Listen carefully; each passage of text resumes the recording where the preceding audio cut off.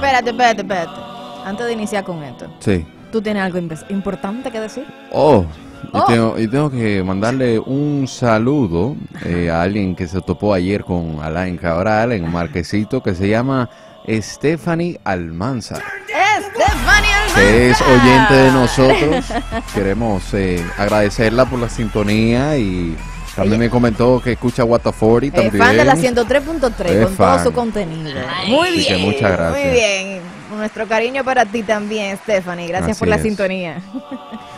Y, Y ahora ahora sí. regresando al Érase una vez, que es un espacio donde nosotros viajamos a través del tiempo en nuestra mente para recuperar algo que una vez fue trending topic en la vida de todos o quizás todavía pertenece a la vida de algunos. y hoy en día probablemente lo encontramos en un recuerdo o en algún cuento de nuestra infancia. Porque hoy viajamos atrás para recordar y jugar El escondite. Ay, el escondite. Señores, es un juego universal con el que han pasado ratos inolvidables niños de todas las generaciones y en todo el mundo. El escondite es un juego al que se puede jugar en familia o con amigos, en casa o en el parque. No se, no se necesitaba más que ganas de jugar. Así es. Fantastic. Es muy sencillo jugarlo. Un grupo de participantes elige a la persona que, que ha de buscar a los demás, el policía o el que la, la liga.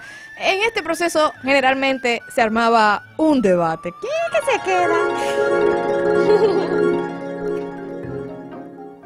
Vamos a jugar al escondido. ¡Ay, sí, vamos! Ok, pues tú te quedas. Yo. Ay, no, ¿y por qué yo? Porque yo fui que dije primero. Ya te, pero a mí siempre me toca.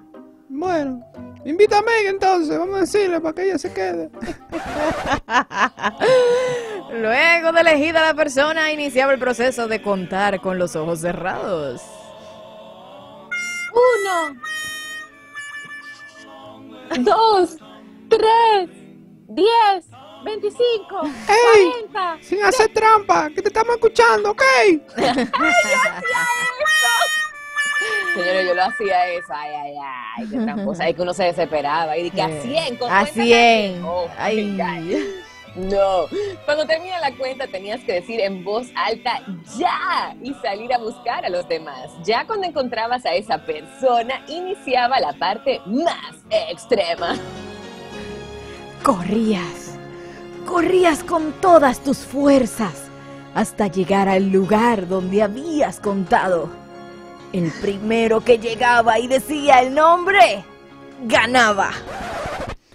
Esta última parte tenía sus variaciones, pues algunas personas lo jugaban que desde que encontraban a la persona y la tocaban y ganaba. Sí, también. Ok, gracias. Y, y había Muchas algo que decía de que mariposita linda es, ¿verdad? Eh, No, mariposita, algo de mariposita. Pero eso no lo escondí. Eso no era escondido. Es otro que te quedaba frisado, ¿verdad? Ah. Y te hacían mueca para que tú te rieras. Pero. ah, ok. Un Anyway. cruce.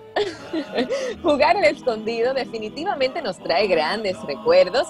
Se recomienda jugar en niños de 4 años en adelante, que generalmente es la edad que tienen la certeza de entender que encontrará a la persona que busca, porque de lo contrario le puede causar mucho miedo y ansiedad. Y más si es de que la casita de chocolate, oscuro, eso es una tragedia para mí. ¡Ay, qué tragedia!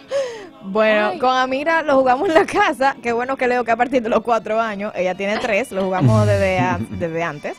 Eh, y a mí me da mucha risa porque ella nunca se llega a tapar completamente los ojos para ver dónde yo me escondo. Y eh, cuando le toca a ella esconderse, ella no, no aguanta mucho tiempo escondida. Y me dice de que, mami, estoy aquí. Porque yo la encuentre. Ay, Dios mío, eso fue todo por este Érase una vez. Cuéntanos en las redes, ¿llegaste a jugar este juego del escondite? Bueno, Claro que yes. Sí. Sí, yo lo jugué. Y mucho. Sí, Wow, y, y- mucho. sí, sí, sí. Bueno, señores, cuando regresemos, what's coming? eh? Eh, bueno, ha llegado el momento de enterarnos de las noticias deportivas con el Sports Beat, así que no te despegues. Vamos eh, a activarnos un poco con eso. Ya. Yeah. Pero nos llega YouTube con esta canción Beautiful Day. Disfrútala aquí en la 103.3. ¿Están equipados? Sí, señor. ¿Tienen todas sus armas? Sí, señor.